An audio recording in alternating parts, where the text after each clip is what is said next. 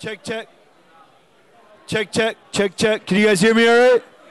All right, all right. What a great tradition this is. Two years in a row. Hey guys, I'm uh, Sam from uh, founder of Dogfish Head, along with my wife Mariah over there. We're psyched for this event. Uh, second year in a row, we have uh, Dave Lemieux, a great friend now, part of our brewery. Give it up for Dave.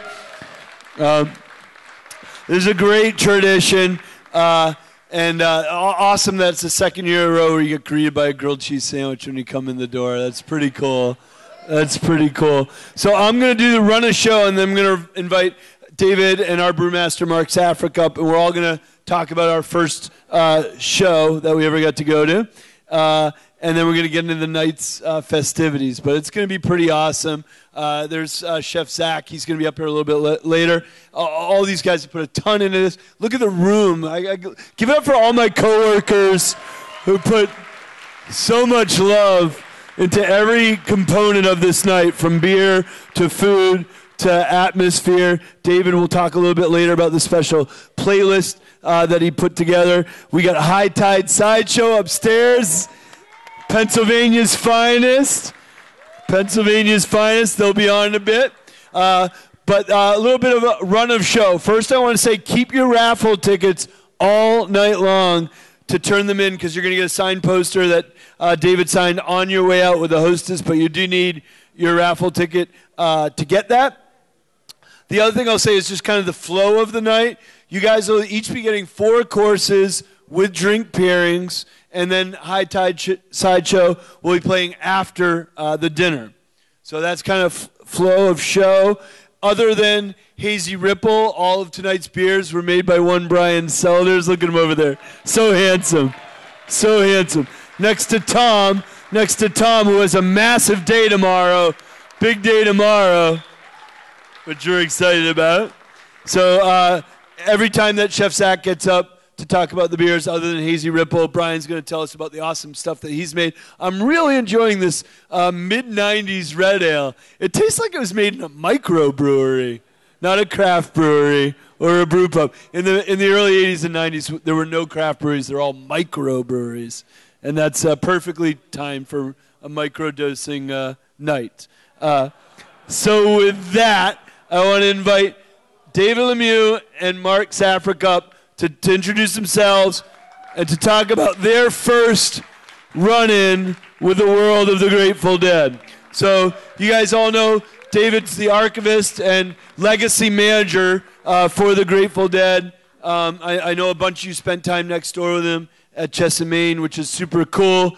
But uh, uh, I'm a New England boy. I grew up in Western Mass, and uh, his first. I won't. I won't. I won't foreshadow his first show. I'm going to let each of them tell you memorable moments from their first uh, Dead show. So take it away, uh, David, and then we'll go. I think the live mics are the are the non non uh, wired mics. So take mine, David. You're first, and then Mark's next.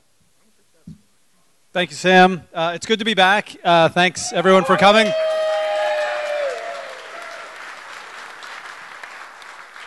It is really a pleasure. I was saying earlier to Sam that I live pretty isolated where I live, and I don't venture off the island I live on very often. It's a, it's a lot of work, and this is a lot of fun. So this is uh, always worthwhile. So we'll do it again next year. I hope so. Yeah. Uh, first show. Uh, so we're all the same age, right? You're, yeah, roughly, a little younger. Oh.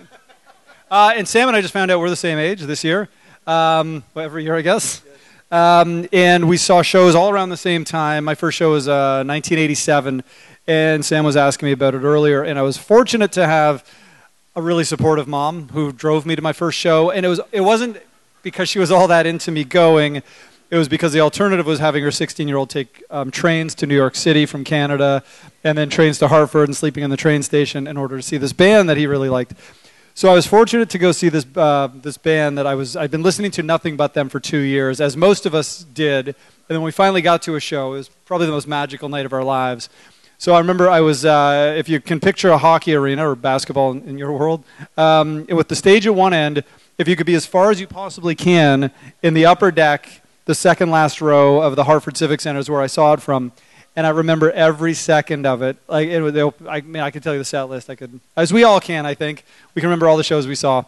So it was uh, really memorable. My mom, uh, I think she got to see it up close and was really supportive of the next show, and then the next dozen, and then the next 20, and the next 40, and the next 60, and then finally, mom, I'm not going to school anymore. I'm going to do this.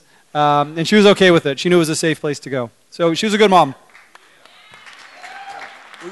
We're gonna do a full-on Q and A later in the night, but a question that I have is through Dave's picks. Did you ever pick that show? Have you listened to that show uh, since the first show you were at? And did you ever pick it to do something with it, or any songs from it? No, we haven't released any. I listen to that show all the time. Uh, I, I think of all the Dead shows I listen to, uh, I, I think that show's probably the one. It just got such memories for me. Um, it hasn't been picked yet. Maybe someday. It is a great show. If you get a chance to listen, it's got probably three, four of my favorite versions of certain songs, and it's uh, objectively speaking, I can honestly say they really are my favorite version. So if somebody says, "Give me a Bird song" or a China Rider or a Black Peter from that era, without a doubt, these are the ones I give them because they're really good. And again, that's the objective side of me, not the, which is a, a big challenge with the work is the subjective and saying, "Oh, this is my favorite versus is the greatest." So, yeah, it's a lot of fun. Good one. Nice. And, and mine uh, was uh, just down the road from here when Mariah and I were in college. We were waiting tables here in Rehoboth as our summer jobs. I was, yeah, God, Rehoboth! Woo! We're literally in Rehoboth. Where Mariah and I waited tables. I, I worked at the front page, which was a rock and roll bar one block over. God bless Terry Plowman uh, and, and uh, everyone that ran that place. And Mariah was one block uh, uh, towards the beach at Camel's Hump. Uh, you know, which is a wonderful restaurant here in town, and we ditched uh, work one, one, one day, and we went to uh, RFK, and I think it was probably 91 or, or so. Was it? What do you think it was? 91? Yeah, yep. So, and it was an awesome, awesome show, and I had grilled cheese in that parking lot, and some other things in that parking lot that I, I remember the grilled cheese. I'll say that. It was a very memorable day. And then Mark, who grew up in California, uh, the, the home of the Grateful Dead, tell your story on your first show. Is this song? Okay. Uh, so let's see. That would be uh, 1987 Laguna Seca Raceway, which was in over in Monterey, and uh, you know we went to the show, and I had a friend of mine, his buddy, uh, or, his, or his grandma rather, had a house in Carmel, California. So we stayed there. We didn't camp, and uh, that was my first experience with the the whole dead scene, and I was like, wow, this is really incredible. And then the next day we went to the next show, and everybody was like, "Did you, were you here for the video shoot?" We're like, "Video shoot? What are you talking about?" And uh, they shot the Touch of Gray video that night. Uh, they basically pulled everybody from the camps, campground and uh, filmed it at the venue there during the evening. But uh, we were a little clueless at the time. But it was uh, it was an incredible show. I uh, that was my first show, and after that, I went to everything I could. And being living in the Bay Area, that was possible to do quite a bit. Uh, got to go to when before they had to play huge stadiums, so that was all right. Um, that's all. Yeah. Nice, nice, nice. So now I got to look at my list to understand what's next in the night. But I do believe we're going to uh, next invite Zach and Brian up to talk about the first pairing of the night. You guys ready to do this? All right, let's do this. Let's do this. Thank you, Mark and David.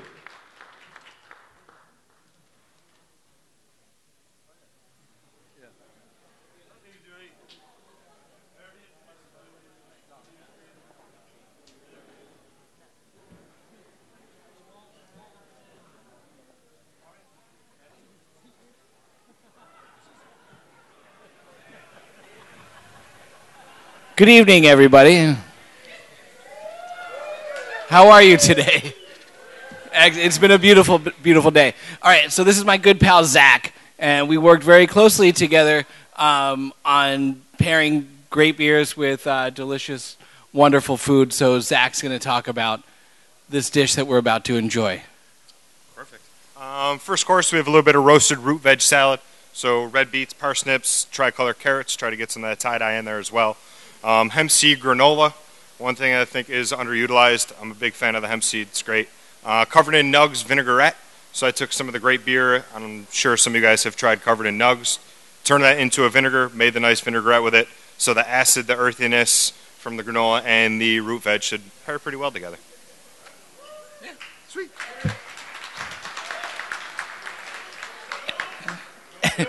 Go Bills! Enjoy, enjoy the the uh, the salad. The beer is covered in nugs. This is the only repeat from last year's dinner. Covered in nugs is a classically dank American IPA made for from uh, actually British uh, Golden Promise malt and um, the dankest hops we could find.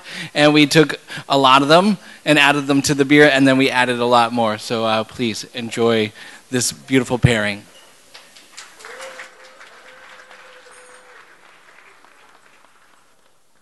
Um, first of all, when I said our staff did an amazing job uh, with this, uh, the whole design of the space tonight, I love the homage to the wall of sound. Uh, isn't that nice?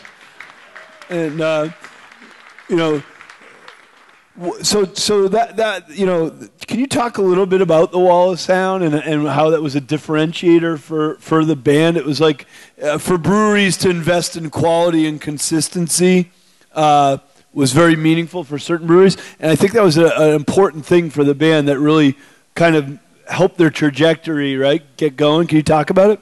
Uh, it, it was. The Wall of Sound, if uh, you don't know what it was, it was the Dead Sound System in 1974, and they used it for the whole year, and it essentially bankrupted them, if not financially, but pretty close to financially, but it, it essentially made them take a couple years off of touring because they had no money and they were exhausted from touring this, this sound system. But I don't know if you've ever made decisions that were the right decision for the art, for the brewing, but maybe financially they might have been a bit of a drain. The Dead didn't care. At Dogfish, we call that being blissfully inefficient. And I would say the Dead were certainly blissfully inefficient.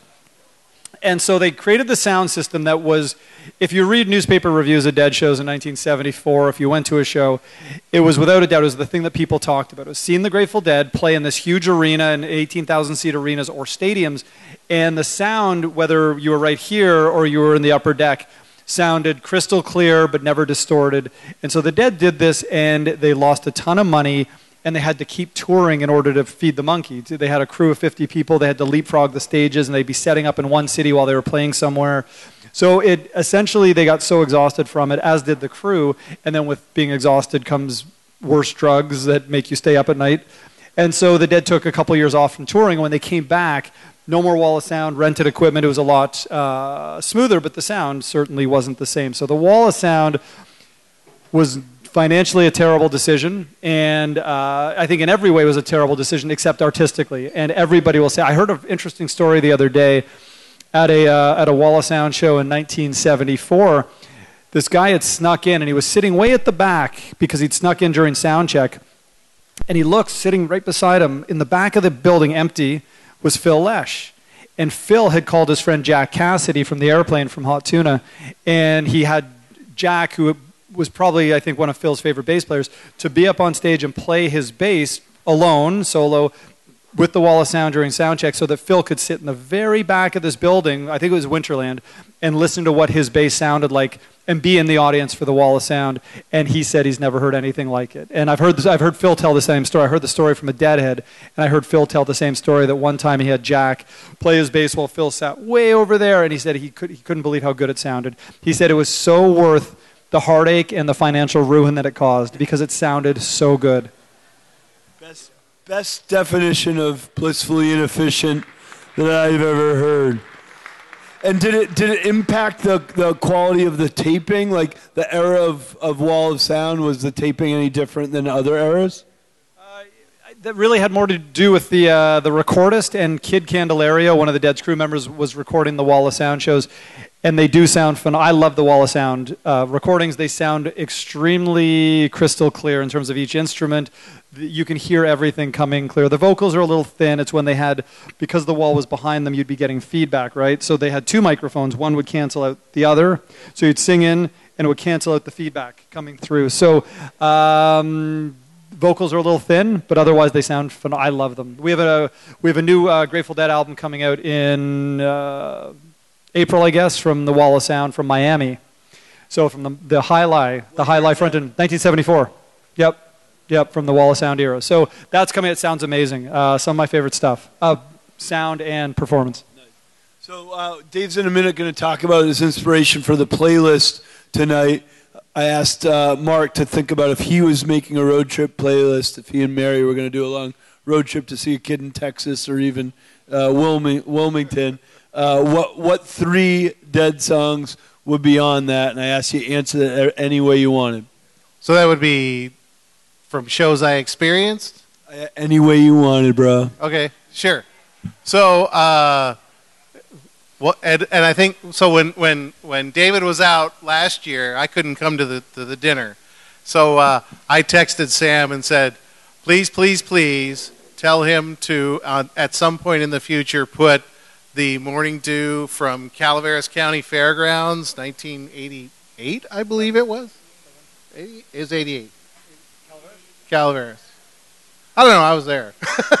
All the years, as they say, all the years combined. Uh, so anyway, that to me was probably the uh, quintessential Morning Dew, uh, sort of mid '80s Brent and Jerry uh, thing they used to do. Just it was amazing. They ended Sunday with that. It was one of those ones that gave you the kind of shivers down your spine.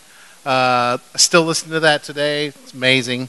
Um, any Jack Straw, and uh, just about any China Rider too. But uh, but that morning dew, you you really need to put that on something. okay. I'm going to just push out and say the f- first side. So, what's the disco album we were talking? so, this is kind of pushing out, but the entire first side of Shakedown Street. I love, love, love that album. I know it gets maligned as kind of an outlier in the catalog, and it was really uh, refreshing when we were Dave and I were uh, doing something that in earlier to hear his respect for the studio albums because so many hardcore Dead fans lean, you know, just into the live albums. Uh, maybe before we talk about the playlist, can you talk about your top three studio albums from uh, different eras, uh, and we can combine the era of the uh, 50th anniversary of this year. So Sam had asked me what my favorite three Dead studio records were, and I got a pass because two of them are so good I couldn't separate them. So that counts as one. Thank you for that. Um, and that's Workingman's Dead and American Beauty. Those are albums that I think, I think most of us, um, and I've I've so many times gone back and forth with which I prefer, but I don't prefer either. I love them both. It's a double album, let's call it. And I love Terrapin Station. I've been a big fan since I was young. And then. Um, I think, and, and I do love the album, uh, Wake of the Flood, uh, partly because it's fantastic, but it, it's just one of those albums that when I was 15 years old and bought it with my own money, it meant a lot to me. And I was, you know, you go through things when you're a teenager, and music means a lot, just as it does now. And I listened to that album a lot and really got into it. So yeah, those three, and then a few others, and then the live ones. And with that, we're going to ask David to talk about the inspiration for this playlist. What was, how did you curate this uh, playlist we're about to get into? So I was asked to put together some uh, previously unreleased music, which I love doing. It's always a challenge because we release, I think, some really good music with the um, Grateful Dead's uh, archival stuff. But I put together things. Um, I put together a few things that were quite different. I put together mostly larger jams, uh, sequences of. Um, I think we heard a Samson, uh, Shakedown Samson, and we heard um, a really good uh, Scarlet Begonias and Dancing in the Street from 1978.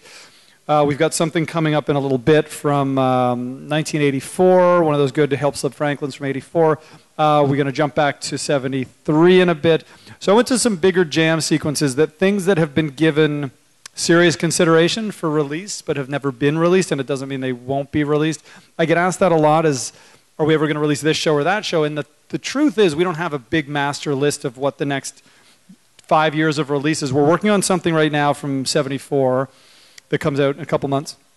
And then we've got the next one picked, the one that'll come out in August. That's um, Dave's Picks 35. But aside from that, we have no idea beyond that. I mean, we've got some general ideas of great shows and things, but we just put so much work about six months into every release we do that it's really each one is its own thing. So we don't have this master list where we can just pick and choose from. We have ideas where, and we know that someday we want to put out that show or that show, but when the time is right for it. But otherwise, we don't have this master list. So it was mostly selected based on things that I thought would work well with dinner. Um, When you say we, who, who's in the brain trust on the strategy of those forward coming releases? It's more the royal we. No, it's uh, it would be. Um, it, I've got uh, about four very good friends who are hardcore deadheads. They're our age. They're very objective and they're very honest. So um, if I'm really getting high on a show, and I, I uh, one guy in particular, two, two or three in particular, four total, but one guy in particular, I'll say, hey, I'm giving serious consideration to this. He goes, here's, he'll, he'll he knows the show, he knows his stuff, and he'll say, Look, here's my problem with that show, and he'll lay out a big reason why, or a reason why it's a great idea, and we go from there. So I, it's ultimately uh, on me, and I, it always starts with me. I don't kind of go to somebody with an idea and say, Hey, you got any ideas? I'm a blank slate here. I usually have an idea of maybe four shows and start with that.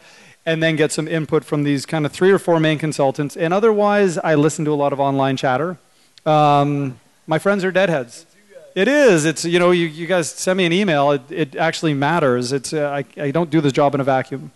So uh, I listen a lot, and I most of my friends are deadheads. We hang out, we listen to the dead, and we'll be listening. We'll be doing a dinner like this, much smaller, and we'll be hearing something. We'll say, "Shit, this is a good one. We should put this out sometime."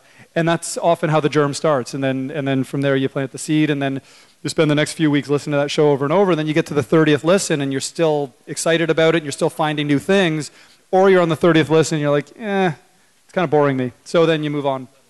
Yep. Nice. Thank you, David. So uh, with that, I'm going to invite Zach and Brian up to talk about our second pairing. What do you guys think of the first pairing, that beet salad and so many nugs? So many nugs, so little time.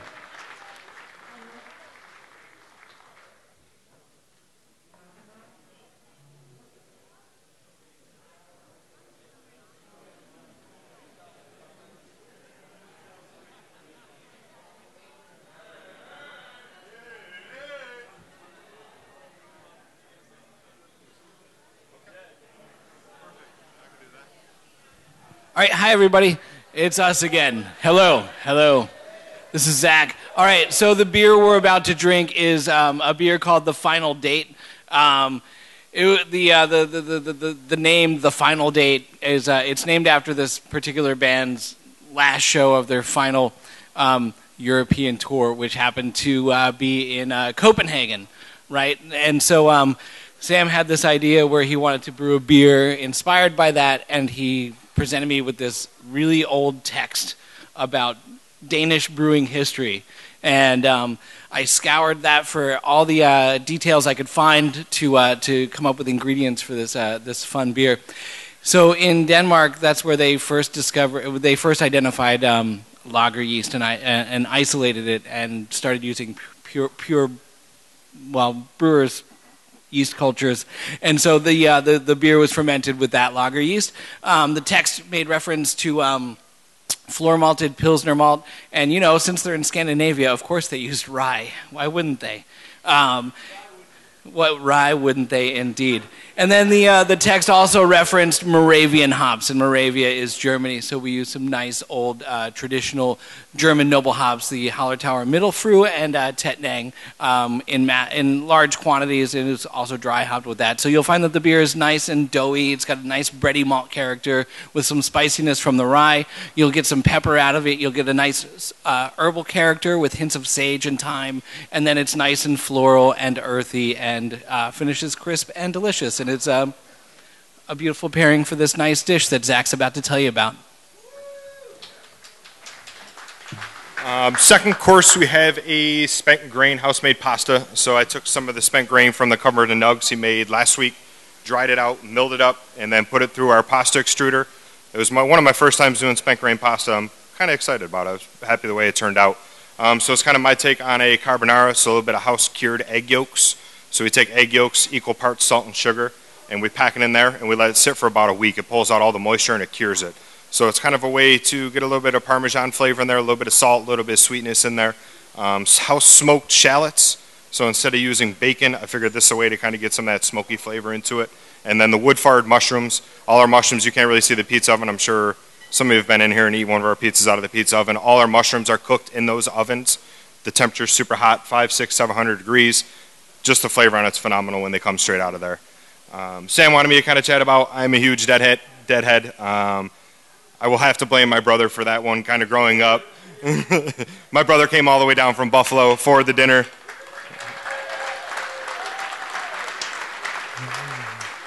And we can't forget about his wife. I like her more than him. but growing up, kind of hearing all the jam band music, um, I was never a fan of it. You know how it is with your older brother, you don't really like to like him too much. So anything he liked, I liked the opposite. Um, but the more I got older, the more I matured, the more I learned. Um, I love the music, I love getting into it.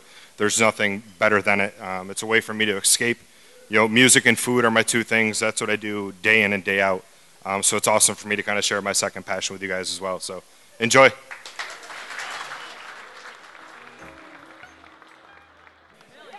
How are you enjoying the night so far? You guys having fun? All right. All right. So uh, on this property of 320 Rehoboth Ave, uh, there's been a massive amount of evolution and iterations that happen on this property. Tw- 20, the first time we opened was in the open space between Chesapeake and Maine and here, and that's also the building that we, uh, with, with, with David Lemieux, uh, first did a batch of American Beauty. In that era, it was a different beer. Let's, get, let's give it up to that era. Uh, and it was a different recipe, and the recipe's evolved as has the Grateful Dead through the different generations of sound. And so now we're going to talk about, we finally have uh, Hazy Ripple in front of us. And I'm going to invite uh, Mark Safarik, who's been part of this journey of this recipe since the beginning with us, uh, and really took the lead on uh, evolving the recipe to American Beauty uh, Hazy Ripple to talk about that recipe evolution. And then after Mark describes that, we're going to ask Zach uh, to talk about the dish that he prepared to pair with this beer. So, uh, you know, a lot, it, we've had, we've had, this is our third iteration of American Beauty, you know, and I remember when we first changed the original, you know, 9% ABV pale ale with granola. Love that beer. Um, but you know, as as with everything like the dead, you know, there were different eras, and we you know said, let's you know, if we're going to do this, let's take it in a different direction. Um, we did lots of test brews. If you were down in our tasting room, you know, they, they if you knew the code words, you knew what they were. So we might have had beers called One Eye Cheshire, or we might have had Diamond Eye Jack, or we might have had Cloud Hands. Uh, and if you know those lyrics, you know where those come from. Uh, but you know, with this one, uh, we wanted to sort of bring that sort of IPA style into that class, the the, the newer sort of experimental uh, in, into a hazy style. Uh, so, and that's what we did with this one, uh, and looking at sort of what's a unique way to step into that space. And so we looked at spelt as as a, a means of driving that haziness and also bringing a sort of spicy earthiness to the beer as well. And then really taking it in a in a, a, a sort of totally different direction and, and uh, making it much more tropical and hop centric and a little less malty. Uh, and so this beer is it's got lots of notes of pineapple. It's got a a, a very sort of eclectic hop bill, uh, both citrusy and spicy. So there's notes of mandarin, pineapple, and things like that in it. And uh, I don't really know much how much more to say about that. I'll just start rambling and saying where do I put Available. my hands. Available everywhere in canned six packs with iconic Dancing Bear artwork. Go find it. well said, Mark. And now, to lead us into the decision on what to pair with this beer, is Chef Zach. So, just uh, walking off stage last time, Mariah actually corrected me. So, I do have three loves I have music, I have food, and I have the damn Buffalo Bills. Thank you, Mariah, for reminding me. And Trisha. So, let's go, Buffalo. Um, so, so, lastly, uh, this last course with the Hazy Ripple, kind of touching on the citrusy, the pineapple notes, um, jackfruit, or no, it's in the mulberry family, in the fig family. So, this big, old, huge fruit, a real rough on the outside cutting it open, picking the seeds out of it. It has a lot of sweetness to it, has a little bit of acid to it, so I thought it would pair really well with this beer. A little bit of potato puree, um, quickly shaved down Brussels sprouts, braised with a little bit of apple cider vinegar, and then I made a vegetable demi, which I was trying to think how can I get something that's rich, flavorful, super thick. So I cooked down a bunch of mushroom stems from the last course, Cooked that with a little bit of uh, tomato puree in it, and really just cooked it all the way down with some reduced red wine. And then I mounted it with a little bit of uh, veggie butter. So I hope you guys enjoy it. Thank you.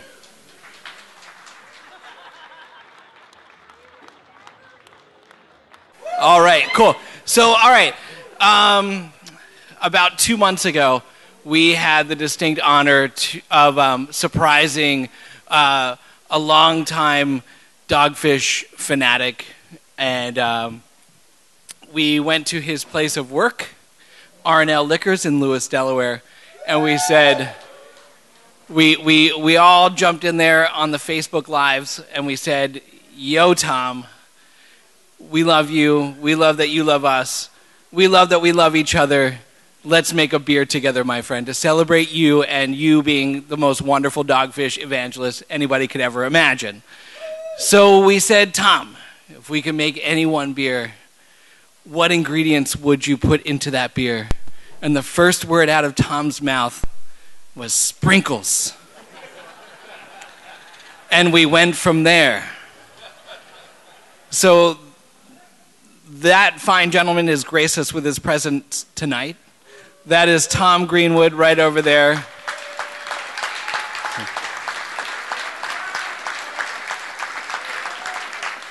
If you don't know Tom, um, then you don't know the most selfless and caring and generous man who has existed that I know of. Um, maybe there's others, but I doubt it maybe they come close. Anyway, so we worked together to make this beer with the sprinkles. And uh, he wanted to make a dark beer. He wanted to make a milk stout. And he wanted to also add bananas and peanut butter and marshmallows. and I said, all right, we're going to make it happen. And so um, here we have the beer, Mr. Chuckles, which is named after his clown persona, Mr. Chuckles. And uh, there's so, so many layers to this, right? This is. so, so let's raise our glass of Mr. Chuckles to Mr. Chuckles himself. Cheers, Tom. Enjoy. Thank you for everything, my friend.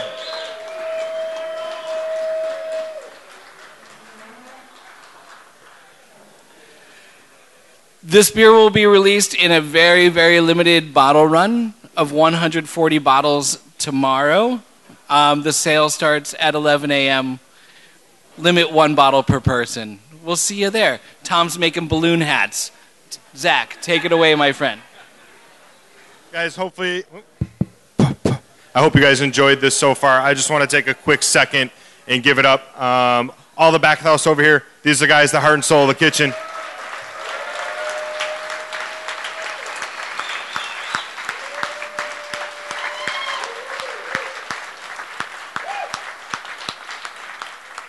And not to forget our lovely front of the house. Let's give it together for them too, please.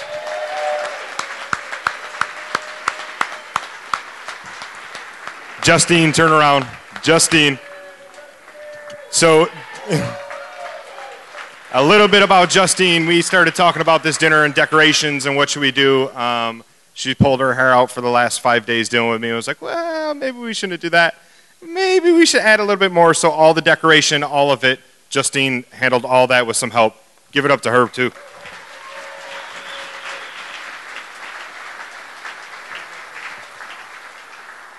All right, last but not least, dessert will be coming out in a second. We are doing a little goo balls, not the ones you used to get on lot, unfortunately.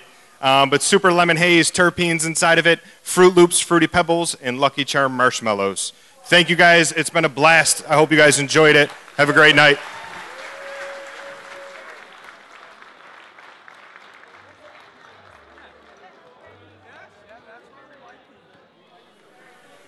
I almost forgot. Sorry. The glasses for you guys to take home. There's a rinsing station over here. If you guys want to rinse your glass out with a little paper bag for you to put your glass in. Thank you guys. Yeah, yeah. So as you guys are uh, desserts coming around, enjoy those balls. Uh, but we are gonna do some super fun Q and A. Some questions can come from y'all towards David for dead related awesomeness, towards Mark and myself for dogfish related awesomeness. Um, and we also put out the bat signal to Dogfish Heads and the Grateful Dead social media universe. So some questions will come from that as well, right, Janelle? Okay, Janelle, let's do this. You're running the show from now on. Go. Here's one that is truly from a deadhead. How many 50th anniversary issues are we getting this year, David? And I actually did say your name. Oh, Yeah. well, um, oh, uh, two, uh, likely two. Um, with there's two big 50th anniversaries in the Dead world. We have uh, Workingman's Dead in June and American Beauty in November. So I wouldn't be surprised if there were a couple plus the beer. So make that three. And was, I think there's gonna be a lot of celebration throughout the year. I have a quick question. Sophia, can I get one of these glasses? Really? Thank you. All right, live questions. Has anybody had time to formulate one? This may also be for Tom. If you were to make a dancing bear beer, what would be your influence?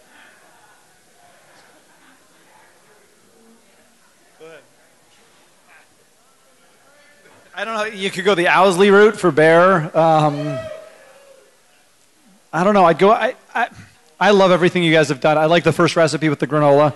I'd head back in that direction. I think. Yep. It was, I love. I love the one we had tonight. I would like to know if you could choose any song by the Grateful Dead, which one would you choose and what kind of beer would you make to go along?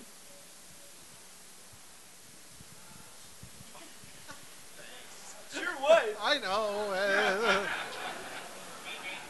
Uh, well, uh, I do like a dark beer, uh, and so I would do uh, something sort of inspired by Dark Star, and it would be um, have a lot of sort of nuance to it, and uh, I would have to, to ruminate on that through many listenings of Dark Star to come up with a specific formula because you know, contrary to popular belief, we don't just generate these of air.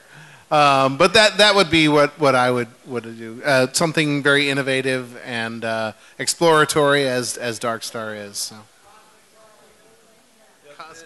And mine would be, um, as I mentioned earlier, um, the, the the disco album that I I love, Disco Dead album, had a song called Shakedown Street on it. So good, I think. And uh, I would brew a beer called Todd McNamara, and it would have all the shake left from all the bong Yahtzee games we ever played. All the leaves, the little tiny dusty leaves of marijuana, and I would call that beer Todd McNamara.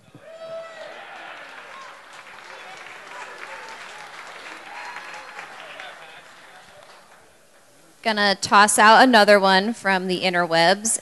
David, why hasn't there been any 90s shows chosen for the Dave's Picks series? Uh, that's a good question. Um, there's no particular reason. We've got a few 90 shows out in other formats. We put out uh, a couple of box sets from 1990. That was uh, 14 shows, and then we last year did um, box set with a couple 91 shows. Uh, we've done some videos from 91, 90. Um, so we do get them out just in different formats for I think why no Dave's picks because they do come out in other formats, often box sets or videos. So we kind of something like 1977, we're not going to necessarily put in a box set. So that's why. How's it going, Sam and Dave? I got a couple questions for you. Are all the tapes in the vault digitized? And if they are, do you have access to like a Grateful Dead archival database to choose from?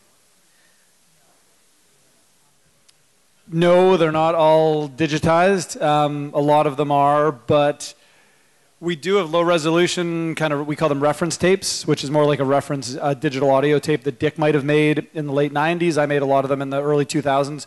And we more methodically go through things if we're working on a project from 1977, let's say. We just did a show from uh, October 29th. And there's a few other shows around that time that hadn't been digitized, so we'll call up all maybe six or eight shows and digitize that whole batch in chunks. So we do things like that. It's um, there's a lot of reasons why we haven't done it. A lot of it has to do with uh, format obsolescence. That if we spent the I don't know, half a million, million dollars, whatever it was, to digitize the entire collection to 2020's standards. In seven or eight years, we'd have to do it again because probably something better would come along, and you can't just migrate the 2020 digitize back and do it back up in seven years. So we're kind of waiting on the perfect format. Hasn't arrived yet. So we do it in, in segments. Awesome. I, I also did have a second part to the question. Um, have you ever thought about publishing a book about your listening notes? Um, you must have a ton of them. I have a lot of notes. Um, I write everything down. I don't know. Would it be that interesting to you? Uh, I mean- yes. Oh. It would be interesting pretty much to everybody in this room. I'd think about it then. Okay, well, thank you. I'd never thought of it. Um, These are, you know, while I listen, I'm constantly, well, you guys, you know, you make things and you write notes down, right? And it's the same thing. I, I make notes of what I, I do for work. And every show I listen to, a bad one, a good one, I make notes. And, uh, okay, I'll put some thought into that. That's so great, man. I'd love to read Rhino. that book. Okay. And one last, que- one last question is from the great Charlie Miller. Uh, why haven't you released 331 1980? I guess the same reason we haven't released 1,500 other shows. It just hasn't had its time yet. It doesn't mean it's a bad show. It's a great show. Right. It really is. But, yep, it's so there's, there's, well, there's 1,500 shows that haven't been released. I think the Dead have released two or 300 shows on CD. So there's still 1,500 left in the vault that we haven't released. So their time will come. Great. I'm not saying, I, and we've got no timeline, we've got no master list of what's coming next.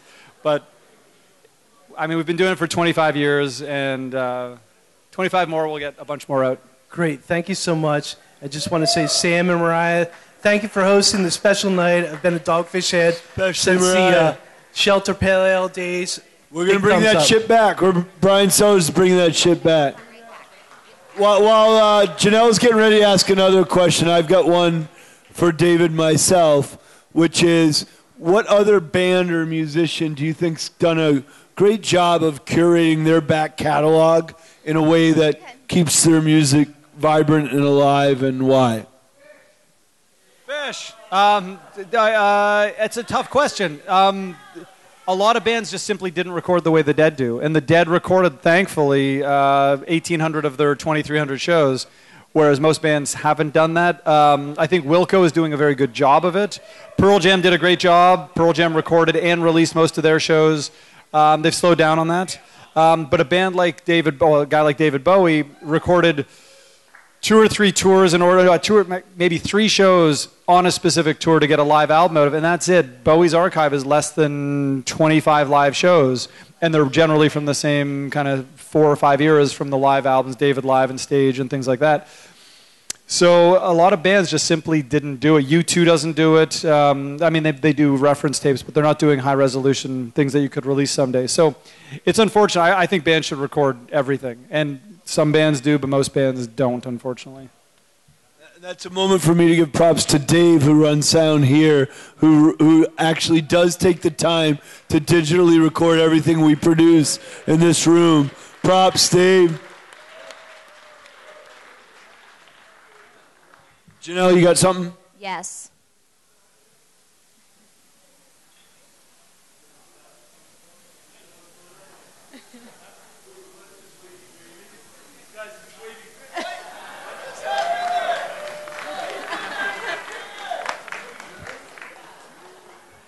So good, so good, Jamie, so good. If I could ask the guys on the stage, favorite show, if you could pick one, what would you suggest to the folks in the crowd to pick up and listen to? Mine's the shortest because Mariah only I and I only went to two, and it was the one in Washington D.C. Um, where we played with the sticks and we had the uh, grilled cheeses and we tried things that aren't legal. That's my answer. I had no, I have no, I had no sticks that I played with, but uh, I, I would say the one, and I referenced it earlier, the the the Sunday set, Sunday at Calaveras. Uh, first set, you had Santana come out and play Iko and Watchtower, uh, which was smoking, and uh, it's got a great Scarlet on it. It's uh, Scarlet Fire, and uh, uh, the, the it's got Dear Mr. Fantasy on it with Brent. It's awesome and uh, then they they finish the show out with Morning Dew that I referenced earlier, which you should totally put on a record. Just saying.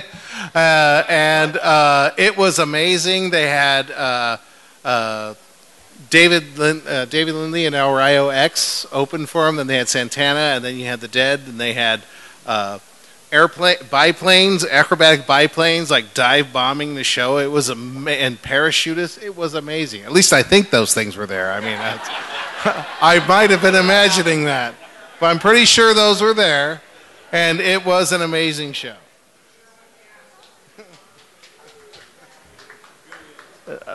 I wish I was at that show now. Uh, what was the question? Be- uh, the best show I saw? Best show. Oh, he's saying best show ever. I don't know. I'm not. That's a little subjective, but I'm going to say best show I was at. I mean, no, my favorite show I was at. I'm not going to say best. Was up in uh, Pennsylvania, in Pittsburgh. Um, it's a good show. Uh, April 2nd, 89. Uh, blew me away. First Shakedown Street. First live shakedown I saw. Uh, a show that I can't get enough of is Harper College, which is uh, May 2nd, 1970. It's a show that I could listen to every day of my life. And uh, it was one of the show that I, one of the first things I got when I was 14 years old. And now 40, uh, 35 years later, I'm still listening to it. And I just can't get enough of it. So, and there's, there's a lot of those, but that's one of them for sure.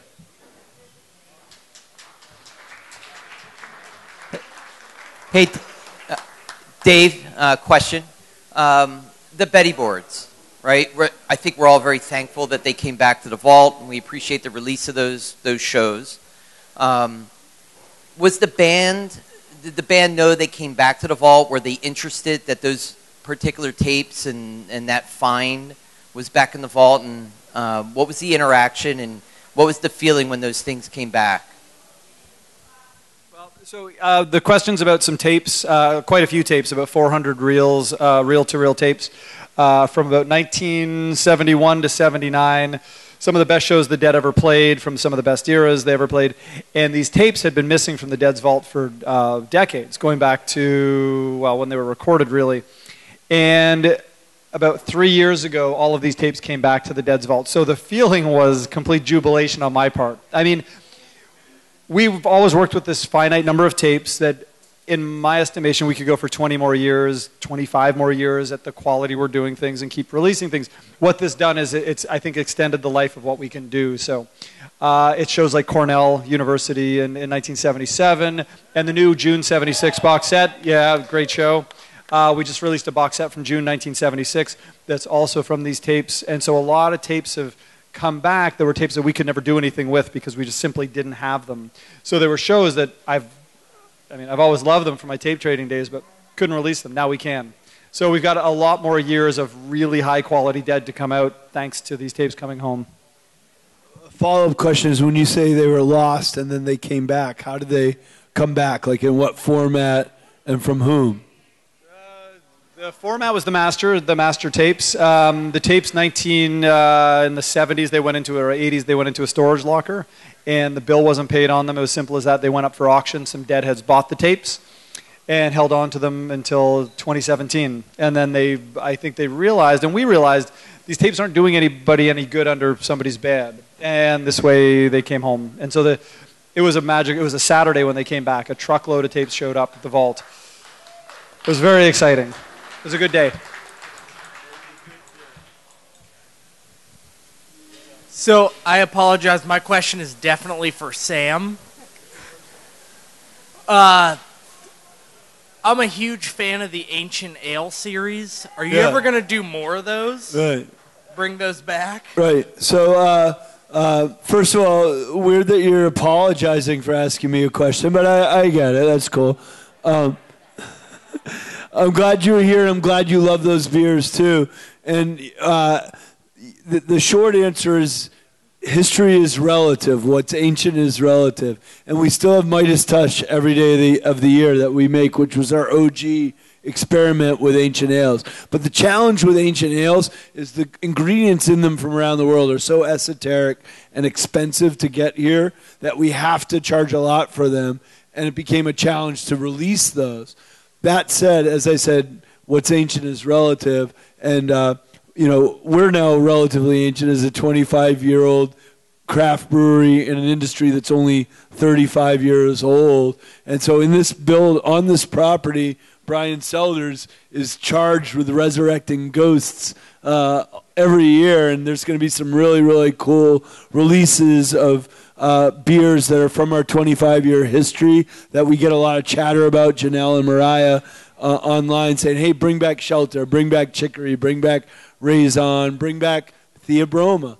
Uh, so, yes, I believe there'll be resurrections of ancient ales and past favorites from Dogfish, and that will mostly happen from the Rehoboth campus more so uh, than Milton. So stay tuned for that.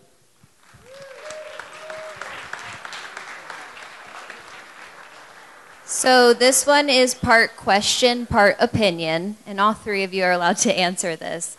Um, we've talked about best show, we talked about best album. What would you consider the best year for the band? And this is the opinion part. This Robert says, I love anything from 1977 because it turns out when you rehearse, you sound pretty good. And the Hampton shows from March of 88 were just amazing. I, I would agree with those that um, rehearsal is good. And the Dead famously did not rehearse ever. Um, the only time they did was 77, a little bit. And when they had new songs, when Jerry or Bob would bring new songs to the band in the 80s, 90s, they'd rehearse a little bit, like a day or two, to learn those songs.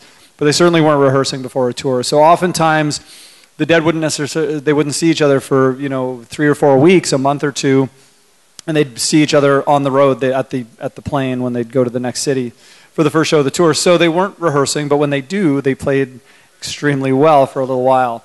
Um, Hampton 88, also, they are very good shows. So, yes, I agree with that opinion. Um, yeah, Hampton 89, great shows too. Um, I, I really I don't have a best year, a favorite year. I honestly don't have a favorite year. I think that's what keeps. I've been doing this for a long time, and I want to do it for a long time more. And part of it is that I, I really get off on every year of Grateful Dead. And if, if we're looking at something from you know 68 or 73, these are all years I love.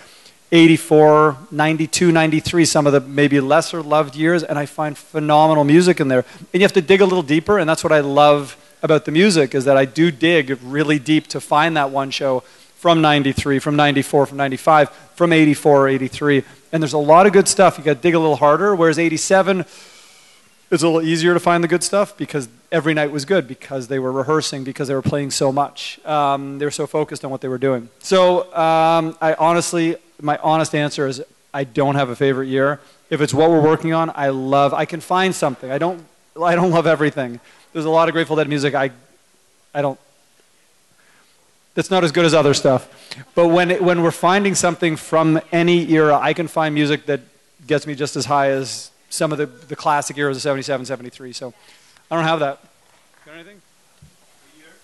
A year? A year of favorite? Oh. Let me kick that for a minute. Uh, yeah. so, uh, yeah, I would agree with you. 87 for me personally, and also I think as I li- listened to tapes, was. Uh, sorry, let me do that. I, I'm not familiar with being on stage. Uh, th- those were. Um, y- that was a year that, for me personally, and also I think what the Dead was playing at the time was really good. I think 72, 73, that era was also super tight, even if they weren't or, uh, rehearsing or anything. Um, but I can find gems, I think, just listening to individual shows throughout the years. I mean, you might find a show that you, you're not too particularly, you know, happy with for whatever reason, but I always seem to find a gem in at least one show, you know, regardless of the era. So. I'm, not going to reference a year, uh, I, guess not 1970 because it brought Dogfish Head and uh, and the Grateful Dead together because that was the year of the album that we're celebrating. Um, it's our year. Uh, uh, but I am going to ask a question uh, to, to David, which is when you said, you know, there was a year of rehearsals more than ever when uh, Jerry and uh, was it Phil that was mostly doing the writing with Jerry or Bob? They were on their own. Yeah. Jerry and uh, Hunter. Yeah. So Hunter was doing the lyrics, right? Jerry the music, or Yep. Barlow Yep. and, and Bob. And so, what years do you think were lyrically? Everyone talks about the music of the Grateful Dead, but when you think of the lyrics of the Grateful Dead, what era do you think represents the Grateful Dead's message lyrically, not musically, the best? You know, it's hard not to think of Workingman's Dead and American Beauty when, uh, when you ask that question. But then I can listen to some of Jerry and Hunter's songs from 92 and 93, So Many Roads, um, Liberty, songs like Days Between. And these songs are just as classic as 1970 Grateful Dead, Ripple, Broke Down Palace, Truckin', all those songs. So it's a tough one. I think their songwriting, and we're in Barlow too. If you listen to their, let's say, 72 output of, of uh, Mexicali Blues and Black Throated Wind and Cassidy, and then you jump ahead many years to Throwing Stones uh, a decade later, 12, 19, uh, 1982. So you listen to some of that stuff, and it's, I think, just as strong. So they had incredibly strong songwriting partnerships. The good music through all eras. That's what I love about the Dead.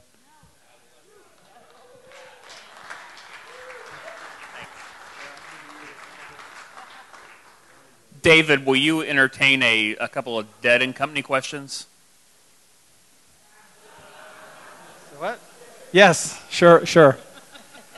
I have two questions. First of all, uh, do you foresee a Dead and Company album, studio album coming out anytime? You know, I what was the last tour they did? They did a fall tour, right? Yeah, Um, Fun Run. Yeah, I, I, so I don't. There's no new music, so I don't know. Um, they sure are playing well, and they like being together. So maybe if there's new music to play, if uh, I mean they haven't really been playing anything new, so. I'd love to see them. I mean, do reinterpretations of Grateful Dead stuff and see if they could do something like that in the studio because I think they could sound really good in the studio. But I haven't heard anything, and I'd love to see it though. And one other Dead and Company related question. Uh, I know Bob had a dream or a vision that years later he was kind of looking over and saw John Mayer with gray hair and Oteil with gray hair. Do you think that is the the hope that they become a band even after the Mickey and Billy and Bob are gone? That Dead and Company will live on? I think they will, and the reason I say that is because most of the good players who have played with these guys in the last 20 years, 20, 25 years since Jerry died, are still playing Grateful Dead stuff. And you think of John Kadlecik, and a phenomenal player, and he's still doing Grateful Dead stuff. And he, he came from a Grateful Dead background, and then he played with Bob and Phil. He was in Bob and Phil's band. He was the guitar player in Further. And then he left that band when, when Dead and Company started, and he's still doing incredible stuff. And I think he'll do it. He's my age, maybe less, maybe younger. And so he's going to keep doing it for many, many years. Um, so I hope so. I, I, I don't see why they wouldn't. I mean, John and Oteil and Jeff clearly love playing this music.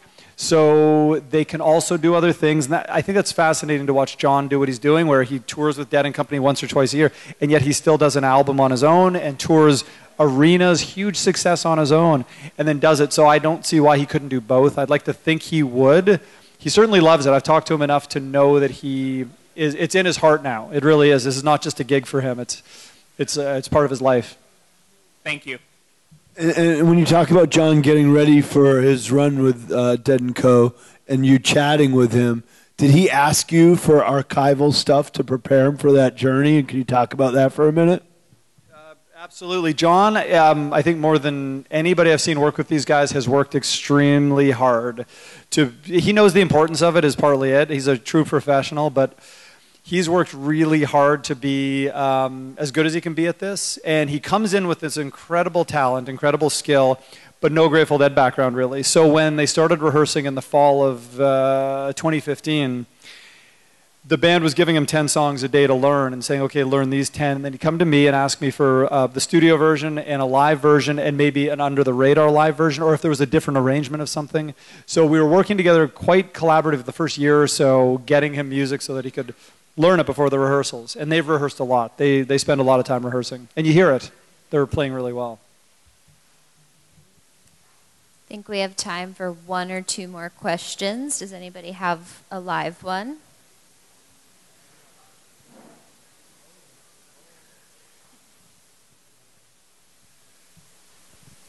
This is, this is for David. It's sort of a nerdy tech, tech question. You mentioned the tapes coming out of the vaults that have been in there since the 70s, and I had always heard that magnetic tape didn't always hold up so well, and there could be some problems with 40-year-old tapes. I was curious about the quality of what came out, whether you had to do anything with them. Uh, well, we do a lot, uh, not so much, um, but uh, knock wood. But we've now been working with tapes that are 55 year, 54 years old, 50 years old. Uh, the new release coming out soon is 46 years old. And knock wood, we've not yet come to one single analog master tape that's had a problem. We've never had to say, oh, this tape is finally given its all for rock and roll. We've never had to go to the high resolution backup or the low res backup or something else. We've never had that problem yet. It will happen someday. These things don't last for 500 years, but they're 50 years into it, and so far they're holding up extremely well. And we we expect it, and so when we put a tape on, we expect it to play well. But someday it's going to come on, and that it's not. And I think that might light the fire to make us do the higher resolution digital stuff. But so far, it's holding up extremely. Every time we put a tape on, we expect it to be good, and it is. It's exciting. I mean, these tapes are the ones that were in the building with the band. You got the band was in there, this tape was in there, and that's it. So it's pretty cool. Who wants the last question? I See a hand.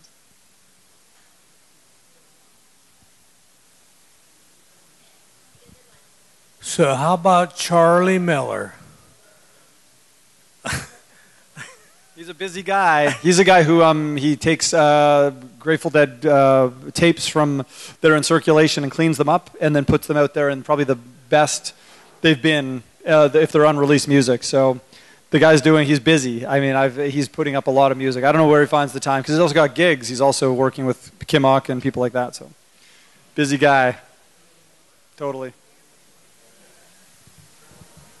Think that's all we got for questions. Um, hopefully, you guys held on to those blue tickets because it's time. What, what are we doing? We auction? Are we auction? What are we doing? You're going to pick a winner. Oh, we're gonna pick some winners. Sophia, and by the way, give it up for Sophia who did so much to organize tonight. So, David, we saved this album from last year. It's the July 1966. Do you want to talk a little bit about it? You signed this last year, very very long ago, but we have it to give away tonight. This is uh, this is an album that apparently I signed a year ago. It's an archival signature, and it's a Canadian album from right near where I live. Um, it is in Vancouver, British Columbia. Um, one of the first times the Dead ever left California, and they came up to Vancouver, played this incredible little hall at the Pacific National Exhibition in Vancouver, uh, the PNE Garden. If you want to see a cool auditorium, it's the PNE Garden Auditorium in Vancouver. And this is some of the earliest Grateful Dead we've ever released, and it's really fun stuff, uh, recorded by none other than Owsley Stanley, Bear. Um, a really wonderful album. I really like this one. And this was, uh, I think it was a Record Store Day exclusive. So you won't get this anywhere but, are, are you giving this away?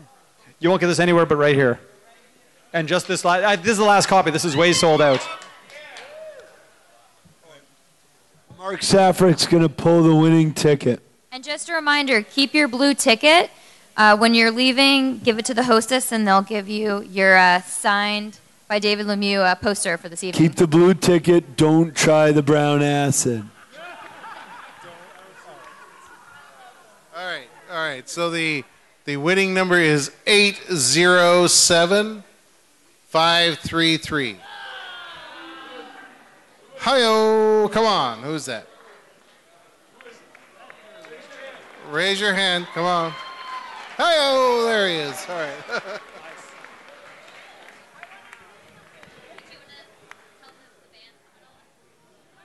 And so, with that, as a reminder, guys, uh, keep your raffle ticket again. As you leave, you're going to get a signed poster. And with that, High Tide Sideshows coming up in a minute. I hope you guys had a blast tonight. I know we have. Thank you, Brian. Thank you, Chef. Thank you, David Lemieux. Thank you, Mark Safarik. Thank you, fans of the Grateful Dead and, and of Dogfish Head. Cheers, guys. Thank you so much.